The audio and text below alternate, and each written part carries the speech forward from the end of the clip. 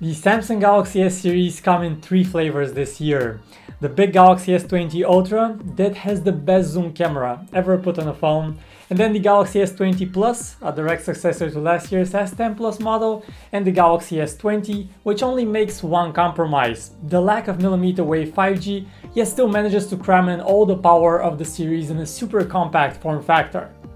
Hello Internet, Vic with Phone Arena here, and I have been using and testing these three phones in the past few weeks, and it's time for an in-depth review. The Galaxy S20 series feature an aluminum frame and glass on both the back and the front, but their best design feature might actually be something that Samsung removed, and that's the curved edges of the screen.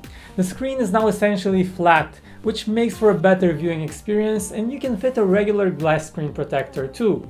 Samsung has also taken care of the little details. Remember that off-center USB port on the S10 series? It wouldn't stop you from buying the phone, but it was puzzling to see it on a flagship and the S20 series now finally have their USB port properly centered. And you already know that the 3.5mm headphone jack is gone and there is no adapter in the box. Instead you get a pair of USB-C headphones. Also, there is no longer a physical Bixby key. This one, we're glad it's gone. It made no sense on the S10 series last year, where one would often press it accidentally instead of the power key.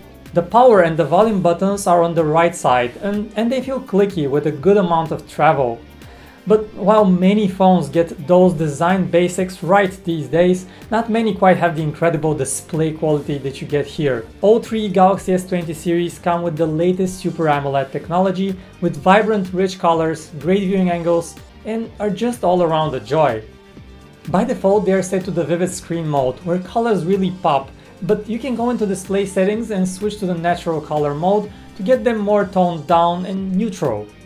The big new feature is without a doubt the 120Hz refresh rate. We have made a small blind test by showing it to a bunch of people and everyone was impressed by how smooth it made everything look, even if they couldn't point out the technical reason why. Interestingly, Samsung however has decided to have the phones running at 60Hz by default and you need to go into the screen settings to change to 120Hz.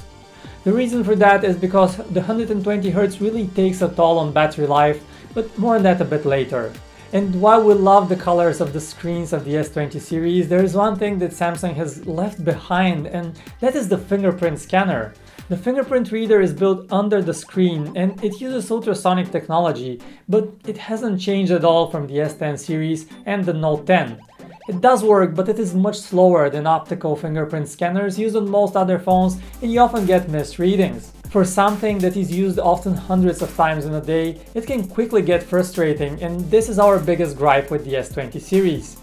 As for the rest, we really don't need to spend much time talking about performance. You have the latest and most powerful chips here. The Snapdragon 865 if you live in the States and the slightly subpar Exynos 990 for most other countries.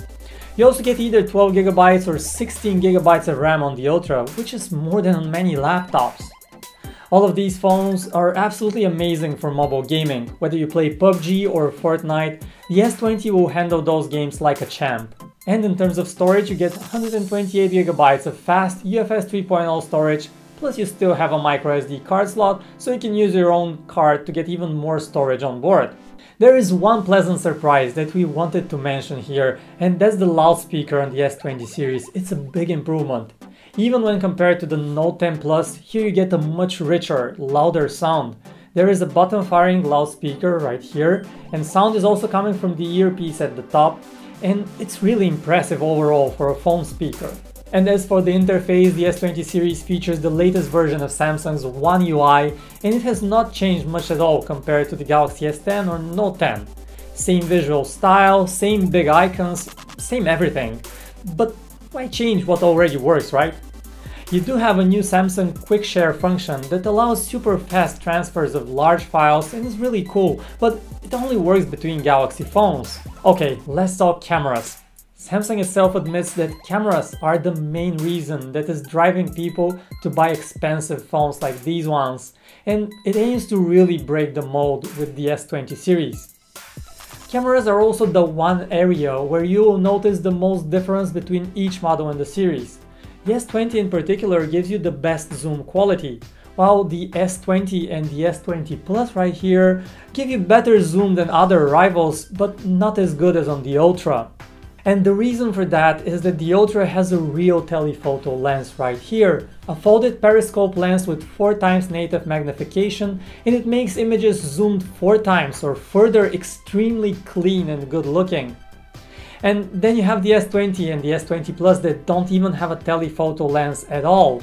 They use a secondary lens coupled with a 64 megapixel sensor and use all those pixels for digital zoom.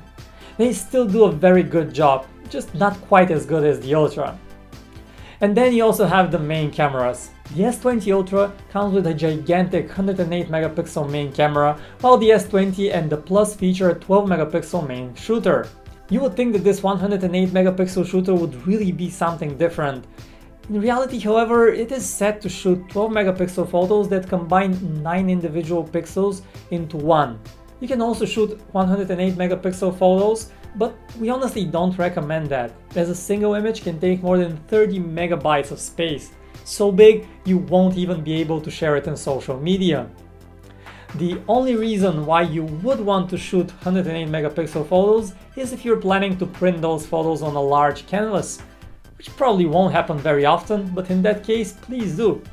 And when you compare the 12 megapixel shots from the Ultra and then to the other two, there is very little actual difference. Colors are similar, the amount of detail is similar, so we don't think you're missing out on much. In low light, the S20 series are all capable of capturing excellent photos. You have the tiny blue icon in the bottom right on the camera app for Samsung's Scene Optimizer, and now it will automatically turn on night mode when it sees fit. This means you don't have to explicitly go and manually select night mode every single time, which is great. If you however do that, you will notice that when using the manual night mode, the phone will take much longer to capture each picture, sometimes 7 or 8 seconds and that photo will have a bit more light than the one with automatic night mode. But it's almost never worth the trouble and the automatic mode would do just fine most of the time. You have been hearing about a number of bugs for the camera on all three phones and unfortunately there are some, but none of them are deal breakers. The most annoying one in our experience is with the front camera. It oftentimes inexplicably blurs out parts of the image, while other times the photo looks perfectly sharp, it's just unpredictable. And when you're recording video, you also sometimes lose the focus and then have it back. Samsung has already started fixing some of those with updates, and we hope it fixes all of them soon. As for video, the new feature here is 8K video recording. 8K on its own is not a gimmick, but we're also not sure if it's ready for prime time. Here's why. First of all, 8K files are extremely big. A minute and a half of recording can take up to 1 gigabytes of space. Second, 8K doesn't even play back smoothly on the phone itself. And third, there are very few TVs and monitors that support the 8K video resolution. If however you happen to be in some truly amazing place and you're planning on creating a video for the world to watch and not just shooting a video at a birthday party or whatever, please do use the 8K option, it is worth it. But for all else, stick with 4K or even 1080p. Those formats use a lot less space and video stabilization will actually work on them, unlike with 8K. And you should also know that in 4K you can also zoom up to 20 times in video, really impressive if you're trying to capture something far far away. Let's also say a few words about 5G. All three S20 phones have 5G support in markets where there is a 5G network, but the smaller S20 is the only one that doesn't have support for millimeter wave. That's the type of 5G that is only available in individual small spots but has those super fast speeds. We don't think that's something that you will miss, but still you should know about that. All three phones support the more widespread type of 5G called Sub-6, because it uses frequencies below the 6 GHz range. Finally, let's also address battery life. You have a 5000 mAh battery in the S20 Ultra, a 4500 mAh battery on the S20 Plus, and a 4000 mAh battery on the S20. That's a big change from the S10 series, and we have some good and some bad news. The good news is that if you use the phones at 60 Hz, they will last more than all previous Galaxy phones. The bad news is that the moment you switch to 120Hz, battery life takes a nosedive and goes from excellent to just average. Your choice. We have tested all three phones a couple of times and we get the following battery results. As you can see, the S20 Ultra is the one least affected by the 120Hz option, but even on it, battery life goes down by some 20%. On the S20 Plus and the smaller S20, battery life drops by about a third when you switch to 120Hz. And on the charging front, all three phones come with a 25 watt fast charging adapter. Unlike the charger on the S10 that used Qualcomm's proprietary quick charge option, this new charger uses a USB-C connection on the brick and features the universal USB power delivery standard. This is great because you can use the same fast charger for your Galaxy as well as get the benefit of the fast speeds if you charge up an iPhone or say a Google Pixel with this same charger. But most importantly, it's great because it's very fast. While it used to take around an hour and 40 minutes to fully charge up the Galaxy S10 series, the S20 phones charge fully in just one hour. You also get more than 50% charge in just half an hour, so a quick top up at lunchtime is all you need.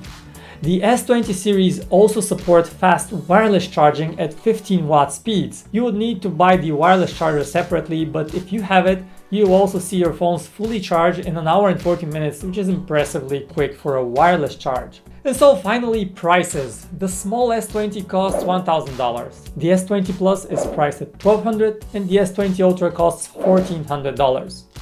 These are the best, but also the most expensive phones Samsung has ever made. And are they worth upgrading from the S10 series? Now that's a tough one, and the answer is only if you absolutely insist on having that zoom camera and want to use the 120Hz option despite its effect on battery life. For all it's worth, the S20 series once again proved how great of phones the Galaxy S10 already were, and now that they are available at lower prices, we wouldn't blame people who would consider them a better deal. And that guys rounds up our review of the S20 series a trio of excellent phones launched at a very bad time for the world. Do you already have the S20 series? Let us know what you think about them in the comments. We as always wish you to be well, stay healthy and safe, and enjoy the luxury of technology that helps us get through these tough times. My name is Vic, this is Phone Arena, and I'll see you in the next one.